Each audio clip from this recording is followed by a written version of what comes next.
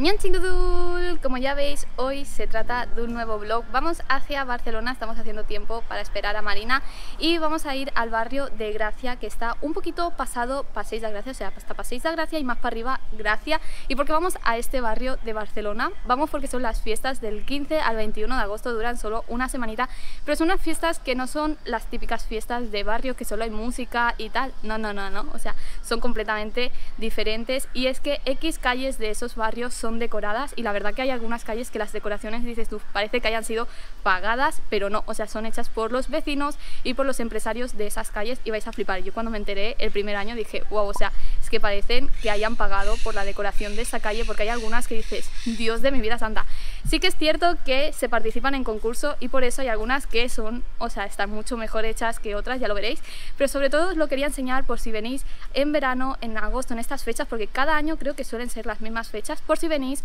a Barcelona, pues que sepáis que podéis ir a verlas, porque cada año es diferente y de ahí que yo vaya así de vestida, porque hay algunas calles que vale mucho la pena hacerte fotos, porque es lo que os digo, o sea, las decoraciones son una pasada, ahora lo veréis, o sea, en pocos minutos estaréis viendo ya las tomas de algunas calles, hay algunas que dirás, bueno, mm, simplemente alguna decoración, pero hay otras que dices, Dios, o sea, mm, muy curradas, y cada año es completamente diferente, porque es lo que digo, participan en un concurso, así que no pueden repetir ideas ni, ni cosas, así que nada, vamos para Barcelona, tenemos que coger el metro, no vayamos a hacer esperar a Marina por si ya nos está esperando y vamos a ver con qué nos sorprenden este año.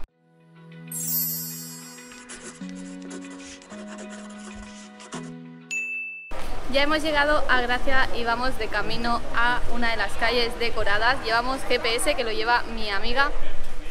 que va por aquí y nada, vamos a ir con el GPS porque son muchas calles y no todas están decoradas y no queremos estar dando vueltas tontamente. Nada, yo ya he acabado con un moño del calor que hace, así que si venís, venid bien preparados con agua, como llevo en la mochila, y no vengáis como yo con vestido ajustado porque esto es aún peor.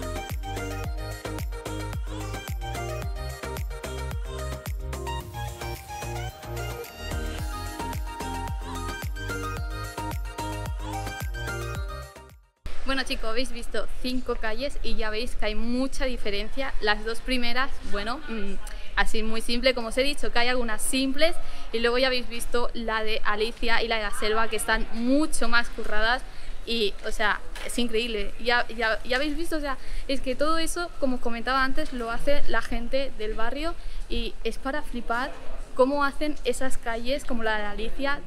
esas decoraciones tan chulas y tan bien hechas.